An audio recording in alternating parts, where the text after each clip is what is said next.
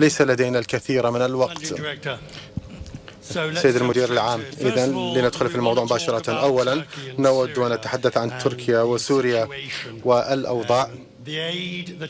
المساعدات التي تصلهم والصعوبات لإيصال المساعدات إلى مناطق محددة من سوريا وأي شيء آخر ترغبين بأن يحصل.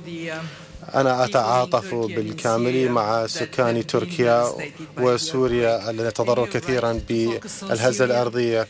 آه، التركيز على سوريا لأن البلاد عانت كثيرا لفترة طويلة جدا. والآن هذه هي لحظات علينا جميعا أن نقف فيها إلى جانب هؤلاء الأشخاص الذين واجهوا كل هذه الكوارث ولتحريك ونقل المساعدات بشكل أسرع وإيصالها إلى من هم بأمس حاجة إليها؟ وهذه هي مسؤولية المجتمع الدولي ليعمل كواحد كما أقرأ الأمور الأمم المتحدة تفكر في رفع بعض القيود أو العقوبات وفتح بعض الحدود. كل هذه اجتماعات تستغرق الساعات إن لم تكن أيام بينما أشخاص يموتون الآن.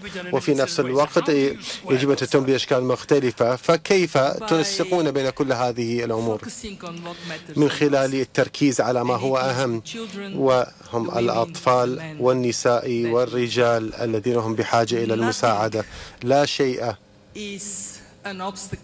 يمثل عائقا عندما تمضي قلوبنا في الاتجاه الصحيح أو تكون في المكان المناسب.